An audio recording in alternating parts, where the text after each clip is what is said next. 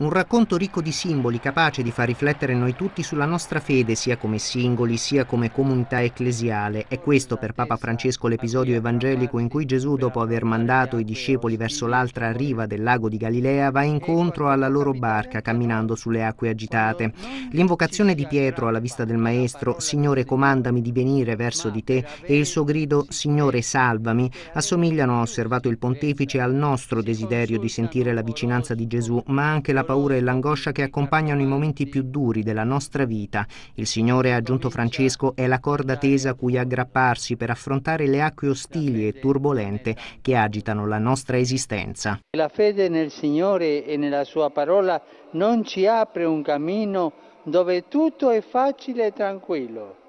non ci sottrae alle tempeste della vita. La fede ci dà la sicurezza di una presenza quella presenza di Gesù, una presenza che ci spinge a superare le bufere esistenziali, la certezza di una mano che ci afferra per aiutarci a affrontare difficoltà, indicandoci la strada anche quando è buio. La fede, insomma, non è una scappatoia dai problemi della vita, ma sostiene nel cammino e gli dà un senso quando non ci si aggrappa alla parola del Signore, ma per avere sicurezza, per avere più sicurezza, si consultano